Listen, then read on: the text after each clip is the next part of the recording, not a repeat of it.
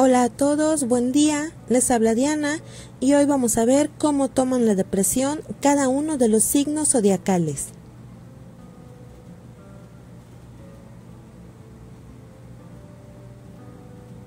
La forma en que asumimos una crisis y cómo nos afecta nos permite sacar provecho de ella y hasta superarla, porque después acumulamos experiencia para vivir cada día mejor. Todos los humanos, a través de nuestras vidas, tenemos periodos críticos que marcan cambios y que nos suceden a todos por igual, más allá de las circunstancias personales o nuestro entorno. A los 7 años, el fin de la infancia. A los 14, la adolescencia. A los 26, el comienzo de la edad adulta. A los 40, los reajustes que la madurez nos pide en todos los campos de la vida. Después, la reflexión, la soledad y el aislamiento.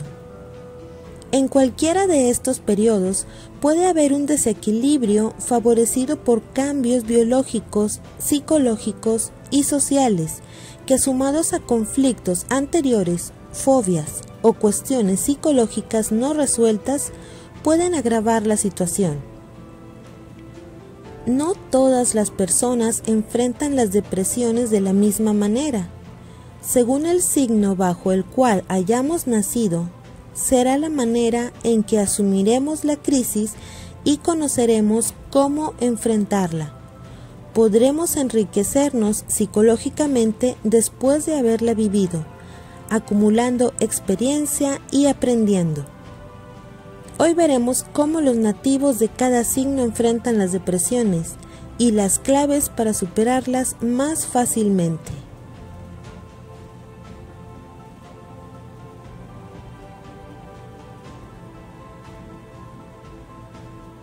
Aries. Por lo general, no reconocen al fantasma de la depresión y lo niegan con todo el énfasis del mundo. Cuando se encuentran frente a cambios no deseados, problemas laborales o tensiones hogareñas, se ponen aún más arrogantes y se rebelan contra el destino con una gran dosis de cólera con la ayuda de Marte, su planeta regente, que es el dios de la guerra. No le tienen miedo a la soledad y no se dejan ganar por las depresiones. Les ayuda a superarla los deportes al aire libre y muchas actividades físicas. Descargar su energía y la violencia pegándole a una bolsa o a un almohadón. Tauro. Las crisis provienen de los altibajos en la seguridad, de la falta de estabilidad o cuando están en juego su dinero o su patrimonio. El sentimiento de soledad, de desamparo les hace buscar estabilidad en cuestiones económicas. Compensan una cosa con otra. Cuando hay problemas en el amor, ponen sus energías en lo económico. A menudo llegan a la felicidad a través de los cambios. Necesitan las crisis para crecer. Les ayuda dejar el valor económico de lado, buscar el valor en su interior. Puede distraerse decorando, como una buena terapia que además le gusta hacer. Géminis. Su regente es Mercurio y por lo tanto les cuesta mucho crecer, pero en cambio se muestran alegres y superficiales como una manera elegante de superar las crisis, porque lucen el disfraz de eternos adolescentes, aunque en ciertas ocasiones esa máscara se les escapa de las manos y es allí cuando sufren depresiones profundas. Necesitan estar acompañados. Les ayuda estudiar, leer mucho, tal vez retomar carreras abandonadas, pero por sobre todo hacer reuniones sociales y convivir con gente que los quiera y los divierta.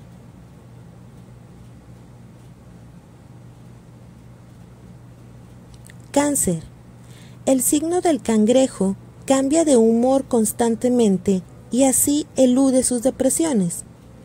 Regidos por la luna, Su humor se mueve como el mar con las mareas y es posible que esos pozos hayan estado presentes desde edades tempranas, como por ejemplo complejos infantiles no resueltos.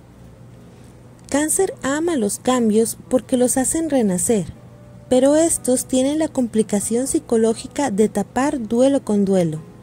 Ellos tienen una gran angustia central que tapan con pequeñas angustias diarias les ayuda la psicoterapia y tal vez deberían dejar de pensar que son los seres más abandonados del mundo.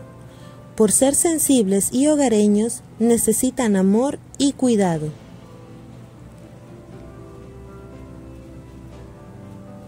Leo. Poseen la fuerza necesaria para superar los bajones ocasionados por problemas sentimentales. La arrogancia leonina no les permite mostrar las depresiones y se desaniman cuando sus fantasías no se concretan a causa de su orgullo. Se imaginan una escena y deben convertirla en realidad. Gracias a su regente, el Sol, Leo es magnífico para ayudar a la gente que ha caído en depresiones. Le ayuda guardar con llave el orgullo en un cajón, tirar esa llave y olvidarse de la perfección un rato, apoyarse en los demás y pedir ayuda. Escuchar a los que están en su misma situación tal vez les haga descubrir que también pueden ayudar. Virgo. Los virginianos siempre tratan de buscar detalles, razones, fines y se empeñan en investigar lo que les sucede. Encontrar la razón de su crisis es fundamental para estos investigadores natos. Son especiales para somatizar los conflictos y los problemas y pasan al cuerpo lo que no pueden soportar en su cabeza, como una forma de cambiar el problema de lugar y modificar la crisis. Les ayuda hacer a diario trabajo como voluntarios en instituciones donde se sientan a gusto y sobre todo se sientan útiles.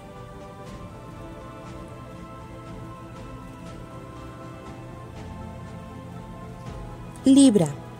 Las depresiones serias son a menudo causadas por problemas de pareja, tensiones en el hogar, abandonos o cambios muy intensos y difíciles de sobrellevar quedan totalmente bloqueados si no se sienten elogiados, queridos o admirados. Buscan el equilibrio y esta es su lucha constante. Los librianos nunca olvidan las ofensas y eso puede provocarles autocrisis. Les ayuda convencerse de que a cualquier edad se puede recuperar el tiempo perdido cuando se tienen 20 años en el alma ser positivos y tratar de sacar una sonrisa de algún lugar escondido.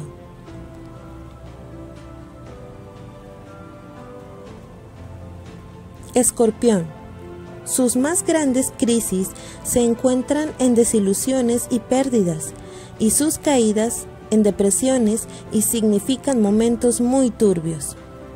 Su intensidad espiritual y psicológica es muy grande y tienen tendencia a vivir estas crisis con mucho dramatismo e intensidad. Ellos necesitan las crisis para renacer como el ave fénix, después de haber sufrido su propia historia de dolor y sufrimiento. Les ayuda no juzgar a toda la gente con las mismas exigencias, quitar el dramatismo innecesario de las cosas.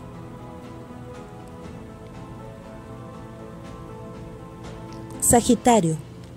Júpiter, el regente de este signo, hace que los ideales de perfección de estos nativos sean muy grandes. Suelen evadirse, huir de la realidad y experimentan cambios hasta en su aspecto físico. Desde lo más profundo de su psique desean superarse, pero ponen las culpas en el entorno fingiendo un egoísmo que en realidad no tienen.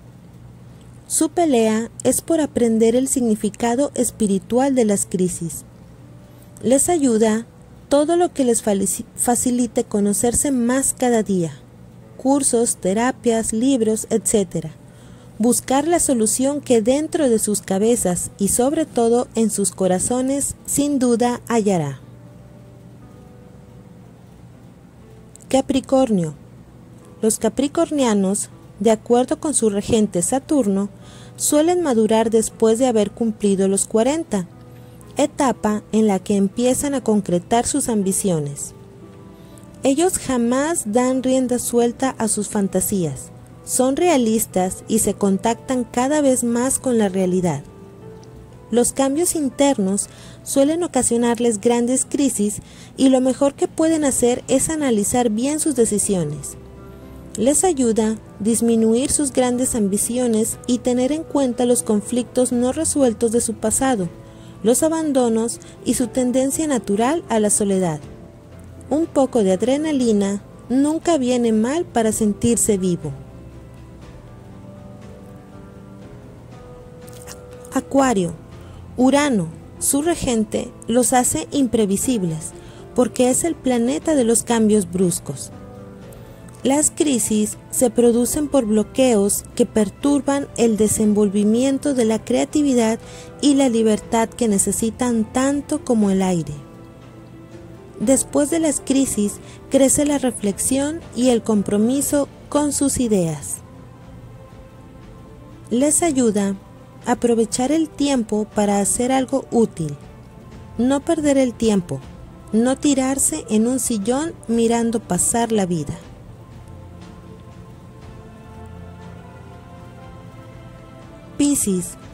Por su regente Neptuno, sus ideales suelen ser muy altos. Durante las crisis abandonan y dejan fluir sus propias fantasías. Sufren depresiones profundas y se revisten de fantasías románticas que los elevan hasta las nubes. El contacto con la realidad suele revocarles grandes desilusiones, pero es lo que deben sufrir para aprender a funcionar sin sufrimiento. Les ayuda ponerse de acuerdo con la realidad, bajar a la tierra un minuto aunque sea. Ya tendrán tiempo de volar más adelante deben tener al lado alguien que los ate a una silla para que no vuelen demasiado. Gregorianos, gracias por su atención. No olviden que videntegregoria.gmail.com es el único y verdadero correo de Doña Gregoria. Ella no tiene Facebook, WhatsApp, Instagram, Skype ni ninguna red social y nunca va a cobrar por su ayuda. Únicamente acepta donaciones libres y voluntarias. Muchas bendiciones para todos.